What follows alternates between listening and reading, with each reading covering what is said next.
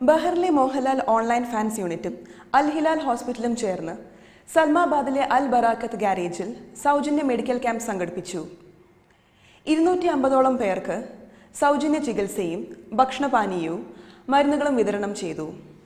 Bahrain Mohanlal fans online യൂണിറ്റും അൽ ഹിലാൽ ഹോസ്പിറ്റലും ചേർന്ന് സൽമാബാദ് അൽ ബറാക്കത്ത് ഗാരേജിൽ വെച്ച് സൗജന്യ മെഡിക്കൽ ക്യാമ്പ് സംഘടിപ്പിച്ചു. ക്യാമ്പിന് എത്തിച്ചേർന്ന ഇരുന്നൂറ്റി അൻപതിൽ പരം ഉള്ള സാധാരണ തൊഴിലാളികൾക്ക് ഭക്ഷണപാനീയവും മരുന്നുകളും വിതരണം ചെയ്തു. രക്ഷാധികാരി Jyothi Menon secretary Faisal F M president Jagath Krishnakumar എന്നിവർ നേതൃത്വം നൽകി. പ്രമോദ് എടപ്പാൾ ശിശാന്ത് മേനോൻ രജിൻ സർക്കാർ എന്നിവർ അടങ്ങുന്ന ഇരുപത്തിനാലംഗ എക്സിക്യൂട്ടീവ് കമ്മിറ്റി അംഗങ്ങൾ പരിപാടി നിയന്ത്രിച്ചു. I member K T Saleem Bahrain youth Congress secretary Biju സാമൂഹ്യ പ്രവർത്തകനായ ജ്യോതിഷ് പണിക്കർ അനീഷ് വർഗീസ് അനിൽ യു കെ എന്നിവർ ക്യാമ്പ് സന്ദർശിച്ച് ആശംസകൾ നേർന്നു.